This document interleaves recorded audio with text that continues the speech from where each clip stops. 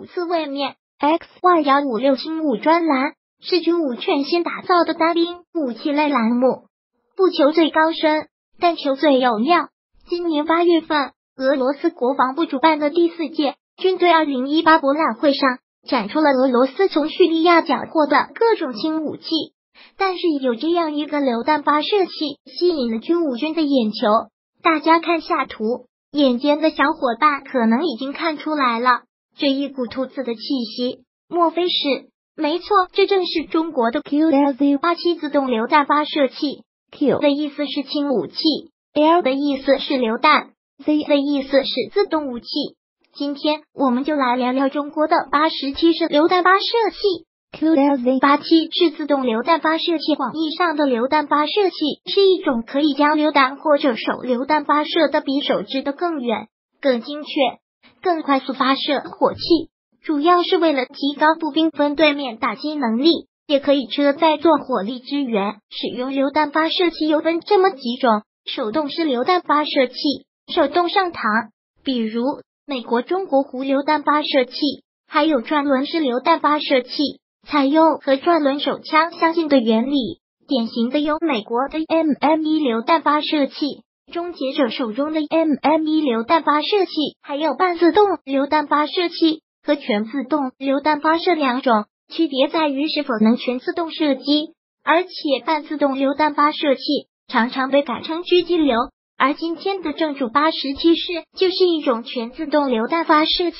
而 QLZ 八七是三十五毫米自动榴弹发射器，就是我国第一代单组自动榴弹发射器。填补了中国在这一方面的空白。根据名字就看得出来，这款榴弹发射器在一九八零年代开始研制，八七年定型，最终装备部队。左边为重型，右边为轻型，枪身长度比 M 幺六步枪还短。QLZ 八七分轻型和重型两种，轻型使用两脚架，用来直射六百米距离上的目标，而重型加装三脚架。可以对六百到一千二百米上的轻型装甲目标和人员集群进行打击。QLZ 八七空枪重十二公斤，加三脚架重二十公斤，尺寸比较小，只有九百七十毫米。要知道，M 幺六步枪都有一千毫米长，发射三十五乘以三十二毫米榴弹，主要有高爆杀伤榴弹和破甲弹两种。使用破甲弹可以击穿八十毫米装甲。被戏称为迷你步兵火炮，除了地面目标，还可以攻击低飞的空中目标。八十七是主要使用的两种弹药，左边杀伤弹，右边破甲弹。八十七是发射榴弹初速二百米每秒，最大射程超过一千七百五十米，可以选择全自动射击或者是半自动射击。试想，战场上你提着步枪打了一梭子弹，然而。对方回敬的是一梭子杀伤榴弹，而且还是用瞄准镜精确打击的。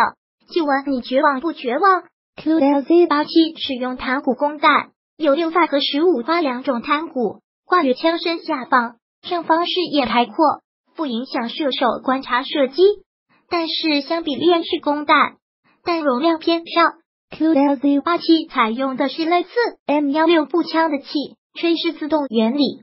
但是有调节功能，可以通过控制引入枪机的火药燃气量，又能实现枪机自动循环，还可以尽量减小后坐力。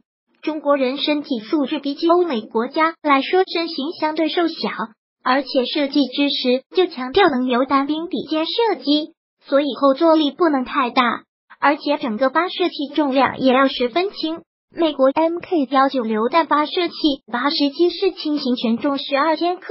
重型全重二十千克，而同为全自动榴弹发射器的美国 Mk 幺九连三脚架重量达六十二点四三千克，德国 HKGMG 加上三脚架也有四十千克。轻型 QLZ 八七基本可以做到一个人抱起来就跑，重型的也仅需多一个人扛三脚架，但是缺点也出在轻这点上，因为八十七式实在是太轻了，连续射击时候就会跳。所以在三脚架的前腿上有打桩口，布设发射阵地时候必须的打入铁桩，来稳定射击时的上跳力矩。红圈内的榔头就是为了打入铁桩用的，而且为了士兵直接能抵肩射击，后坐力就不能太高，因此三十五毫米榴弹出速不高。相比美俄同类武器，在射程上有较大的差距。在初速方面，美国 Mk 幺九为二百四十四米每秒，中国八十七是为二百米每秒。有效射程上，美国达一千六百米，中国八十七是才一千二百米。另外，比较奇葩的是握把在枪的右侧，据说为了照顾大仰角使用，所以握把设计在了侧面。很明显，握持设计也十分别扭。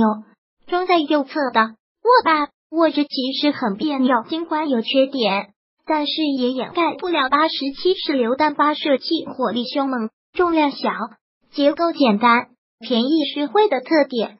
不仅大量装备中国军队，也是中国的外贸明星，大量出口国外，所以被俄罗斯在叙利亚缴获就不奇怪了。非洲某国装备的 QLZ 八七，叙利亚战场上的 QLZ 八七，我军装备的 QLZ 八七，如今中国榴弹发射器更是日新月异。如果有人问兔子的火力不足恐惧症还有得救吗？军无军的答案是晚期节哀吧。曾经有这么一个段子，中美两国都开发出一款狙击枪，一千米射击散布一米。美帝用了十年，成功把精度降低到一厘米；兔子则成功把子弹杀伤半径提高到十五米。说的就是中国 QLU 幺幺狙击榴弹发射器。嘿嘿，第一次感觉得病这么开心。上期最佳以及问题解析：意大利博莱台一九三八式冲锋枪，独特的双扳机设计，一个为全自动，另一个为单发，比起意大利人打仗的不靠谱。博莱台一九三八显然好得多。今天的问题来了，下面使用气吹式自动原理的是哪个？A M 幺六突击步枪，B M G 四二通用机枪，C 物资冲锋枪。更多有趣好玩的军事文章、视频、图片、电影、游戏，关注“军武四位”面微信公众号。